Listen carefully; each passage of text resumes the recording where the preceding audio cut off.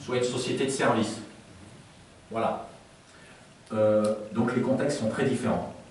Euh, cette société, elle peut être totalement équipée informatiquement